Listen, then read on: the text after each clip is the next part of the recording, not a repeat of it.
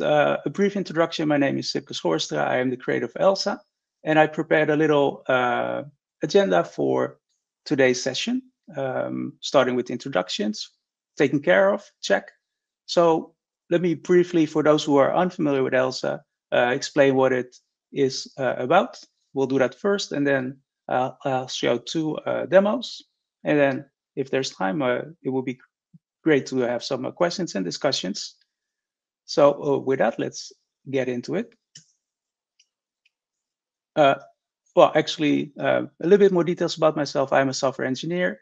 I am based in the Netherlands. Um, and I, as I mentioned, uh, I created Elsa workflows. It was 2018, I think, when I pushed the first commit. And what is Elsa? It's essentially it's an open source framework for building workflow engines in .NET. So what does that mean?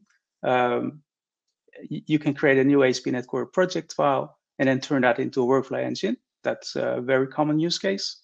Or maybe you have an existing application built in .NET and you want to imbue it with uh, workflow capabilities, and Elsa would be perfect for that.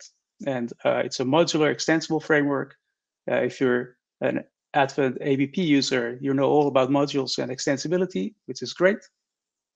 Uh, and it comes with a uh, reusable web-based visual designer. So with Elsa, you can define workflows from JSON, even in C Sharp, uh, as C Sharp classes uh, within your application.